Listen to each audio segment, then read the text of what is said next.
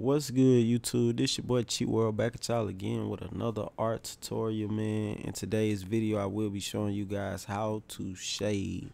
If you're new to the channel, go ahead and hit that like button, comment, subscribe, make sure you click post notifications so you will be notified every time your boy drop some heat.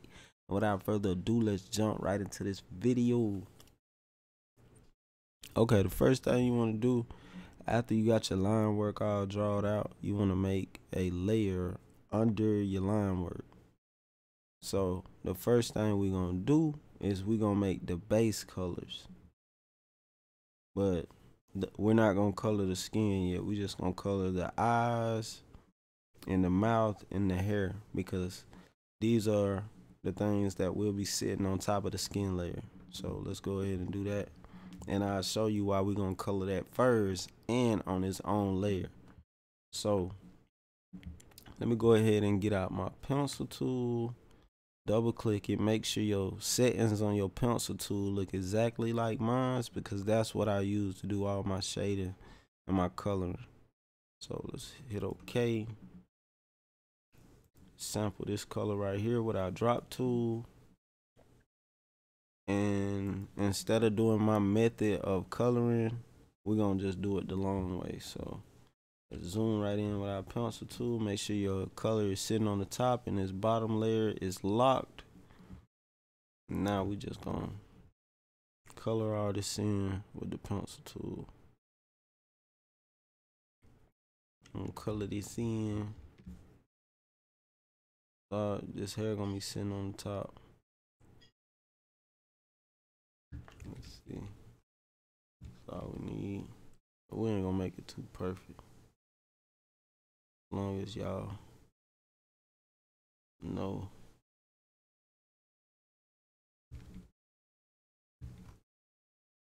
Oh man. get around this ear real quick. You see how I'm tracing it and it's filling in the inner area. That's why you gotta make sure your color is at the top, your bottom color is locked, and you're on you're using your pencil tool. I use this to do it'll save you a lot of time as far as filling in colors without just manually coloring it. Just making a selection for it. I'm gonna come up here.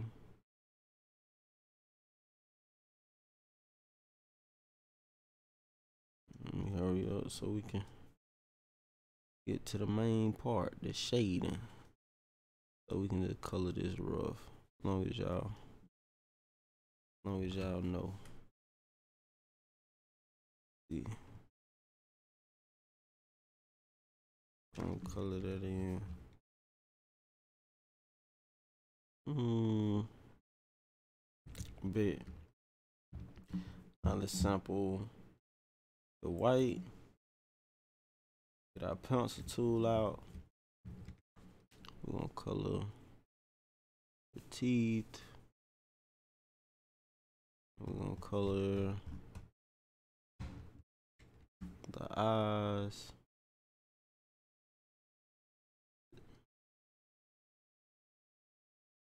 On this side, color this side. And in the future, I will have my own preset, like the color packages for you guys who have a hard time finding the right tones of the skins and the lips. I will have different presets for y'all. So it's coming, man. The dope color package is coming. I'm gonna sample this. I'm color this right here we ain't gonna color the skin. We're gonna put the skin on a layer underneath this one. And then we're gonna color. Color this bottom lip. See this this pencil tool come in handy, man. Color that bottom lip. Top lip a little darker. So let's come right here, make us a selection around this top lip. There we go.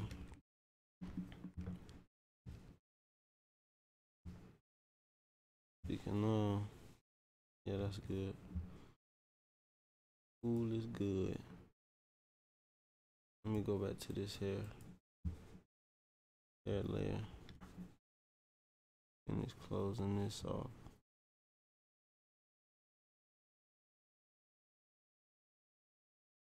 Alright. Now what we finna do, we finna create a layer underneath that color layer we just made. And we're gonna select the base tone of the skin layer. And this why we put that first color layer on top so everything can just fall behind it. Easy. We're just putting the base tone down. Bring this down.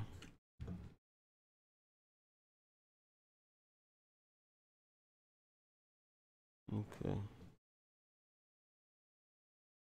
Pretty nice little base tone. Now it's time to start the shading process. So what you want to do, you want to create you a new layer right above the skin layer we just made. And I like to start with my darker tones first.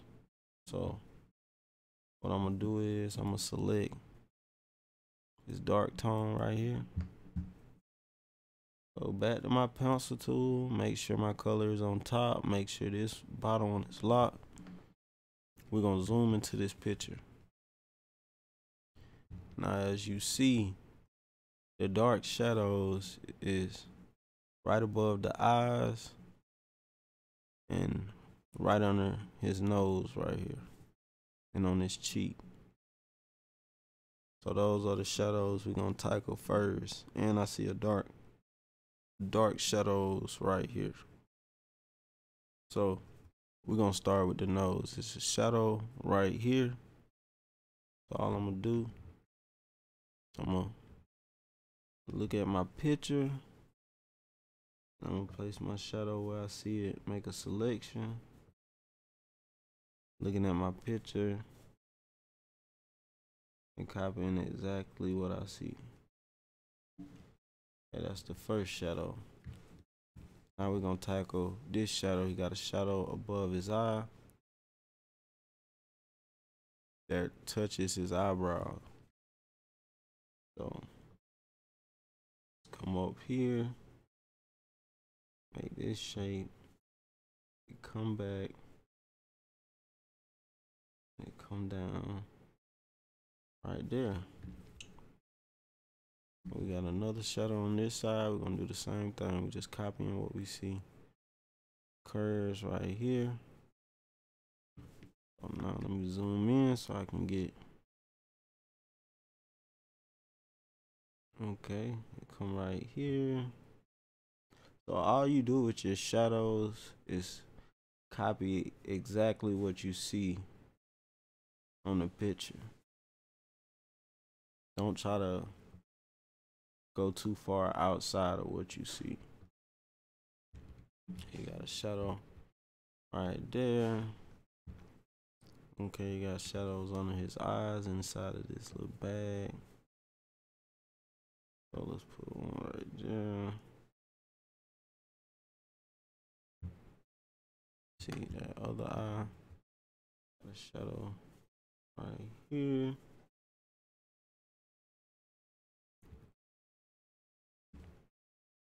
Now, that's a nice little shadow. Okay. Uh And this shadow layer, the dark shadows, I put it on a layer by itself. So when I go lighter with my shadows, I'm, I create a new layer for it. So we just putting all our dark shadows on this one layer right here. I'm looking exactly exactly at my picture and I'm copying what I see. So shadow right here. a little one right there.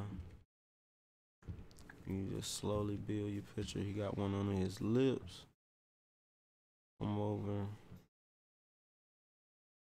Then he got one on his cheek. That come up.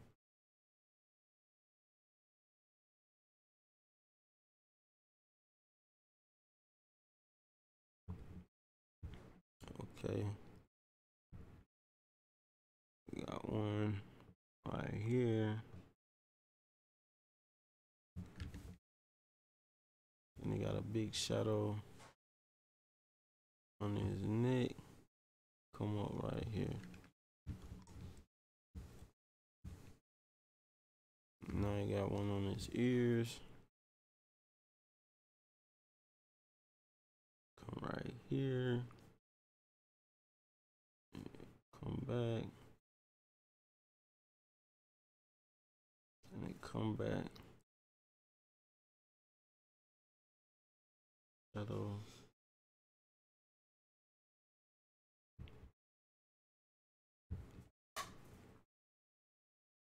Bring this back.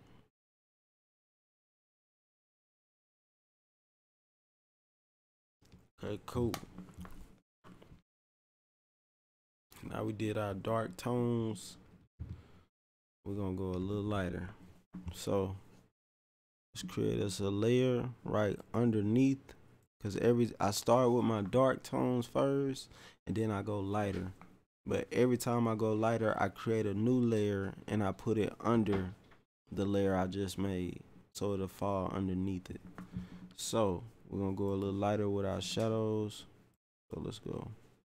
Find us a lighter tone. Let me make sure I got the lighter tone selected. Yeah, that's a little lighter. And we're gonna look for our mid-tone shadows on the picture. Okay. See? Right here.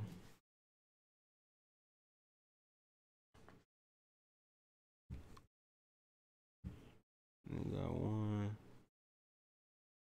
Come this way.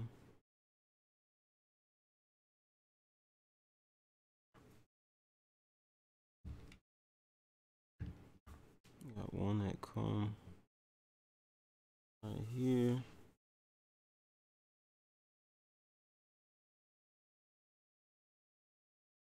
We got one that come on this side of his face.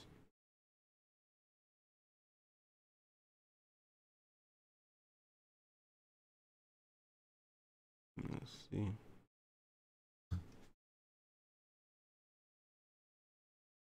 There.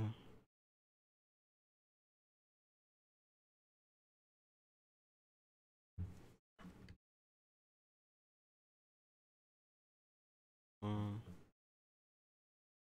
Here.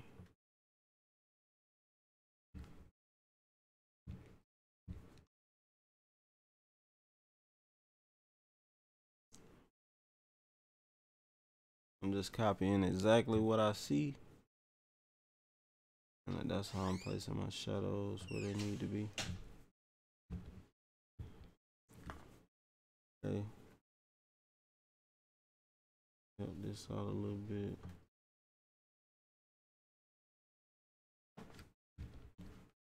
Make a smoother transition.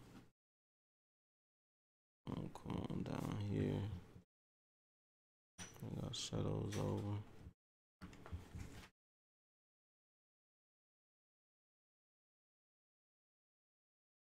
Okay. Now we need to go a little lighter. See your shadows, what it do, it builds the the shape of what you drawing. So I created a new layer and I put it underneath my lighter tones, but I'm finna go even lighter. Let's select our lighter tone and zoom in on our picture. Look for some lighter tones. I see it come right here, right here, right here, and you just slowly find it and you piece it together on your picture. So this one right here.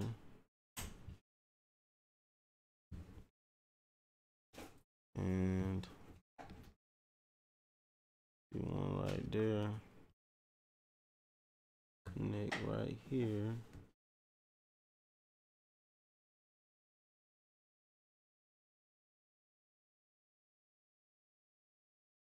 Come on down.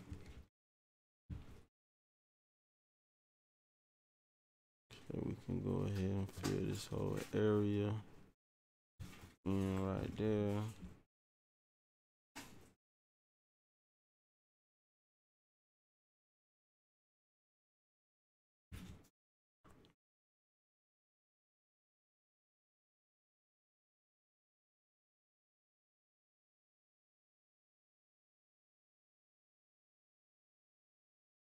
Shadow up.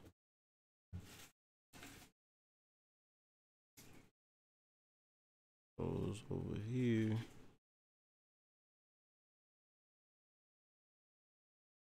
Looking at my picture.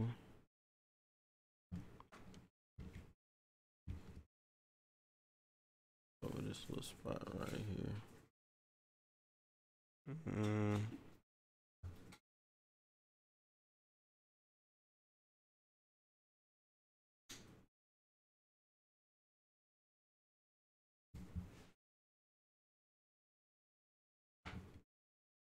And be a little extra. I'm gonna create me another layer before we put our highlights, and I'm gonna bring it to the top of my dark shadow layer. I want to go even darker in certain areas to give it more detail. So, see, dark shadow under here. I'm still looking at my reference. And that's all it is, you guys. You just slowly build your picture piece by piece. And you just follow your picture.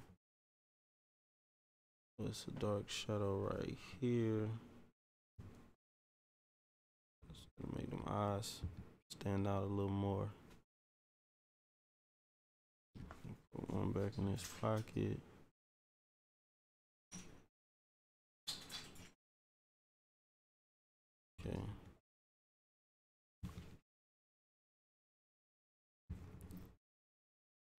One back here. Come over, come under. There we go. Gotta put one under here.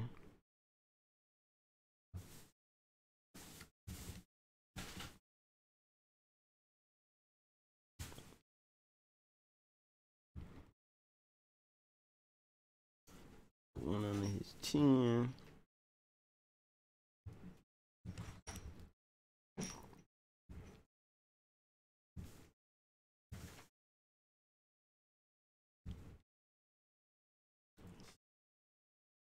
Following my picture. And the reason I went back to the top of the layers because I told you I like to start with my dark tones and work my way down but I created a darker tone that was even darker than the tone I was using. So I had to put it at the top so to make everything else fall into place. But yeah, there we go. Now that we got that in, we can add some highlights. So what you want to do, you want to create our last layer. Put it at the bottom. But above our base layer, we're gonna sample our base layer. And we just need to find us a little brighter tone. So we can put the shine on his face. I see you got a shine right here in this crease. So that's all we're gonna do. We're just gonna make us a little shine right there. Then he got a shine above his nose. We're gonna put one right there as well. You got a little shine right here. Let's put us a little shine right there. That's all you do, man. You just study the picture you looking at. Don't overthink it. Place the shadows and the highlights exactly where you see it on the picture. I see you got some some shine right here. So let's put us a little shine right there, right here. Um, a little shine right here, and got a little shine above the eyes. Let's put us a shine right there. Make that stand out. The shine in the ear.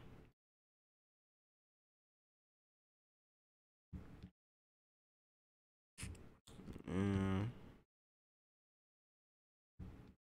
let's see what else we can do. Okay, let's go to the top now. We gotta create us a layer right above the top line work.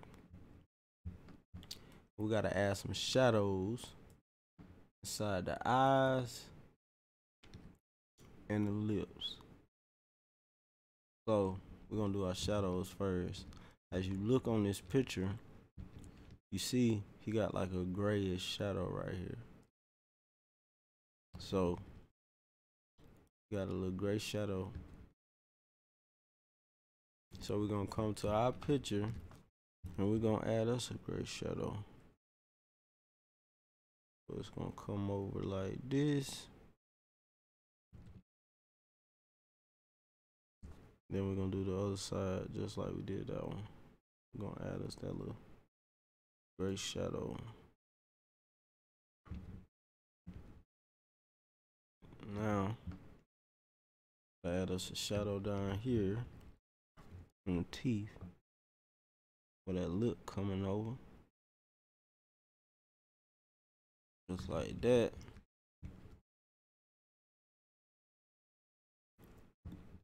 And we create us a shadow on this lip.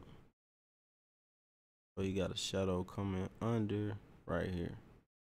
Under the top lip. So we're gonna create us a shadow under the top lip as well. That's all you do. You just look at your picture and slowly build your picture. That's not a good tone. Look, let's change that color. More. A bit. That's cool color right there. And we gotta add a little shadow under this bottom lip.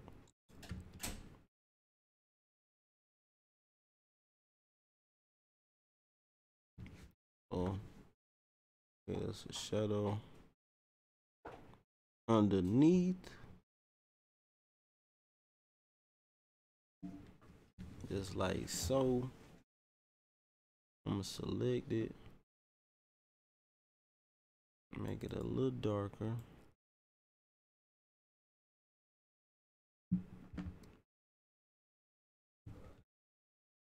I'm I got a little shine right there. I'm just trying to teach you guys how to find your shadows so you can see how simple it is to draw it on your pictures.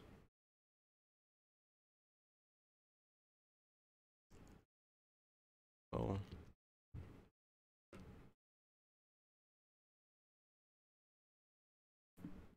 see what else we can let's go back to our dark shadow layer. Because I want to make this dark tone right here a little more. I want it to stand out. So I'm bring it up a little more for the fade.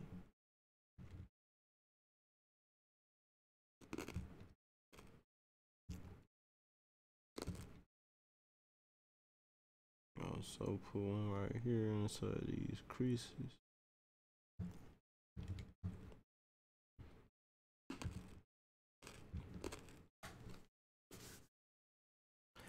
And there you have it, you guys, how to shade in Adobe Illustrator.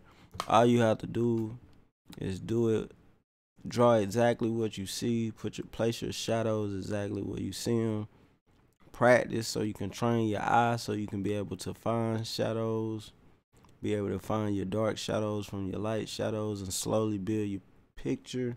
Stay practicing. Make sure you stay tuned more tutorials, more heat coming soon, and Chi World is out there thing.